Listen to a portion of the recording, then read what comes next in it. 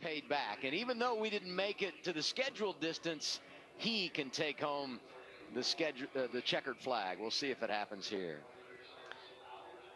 It's official.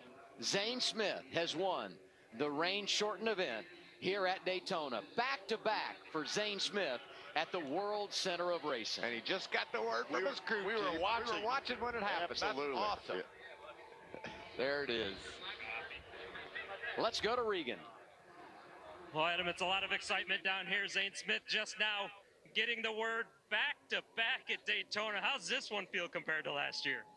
I know there's uh, about a million ways to get one at Daytona, but uh, we're proving that. So obviously wanted to, to go back racing there somewhat um, to duke it out uh, with good friends of mine actually. But um, hey, we'll take a win at Daytona any day we get. Just a huge shout out to uh, everyone at Front Row Motorsports.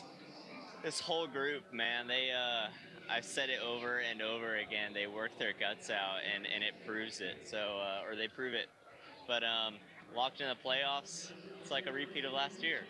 You got to carry this umbrella all the way through till Sunday. This thing's been like your security blanket Yeah, here. I love it. I love it. We never know what could happen in this Daytona 500. I can't wait for Sunday.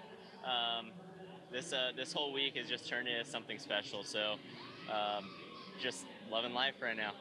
Zane Smith wins at Daytona. In 2022, he wins the season opener at Daytona, goes on to win the championship.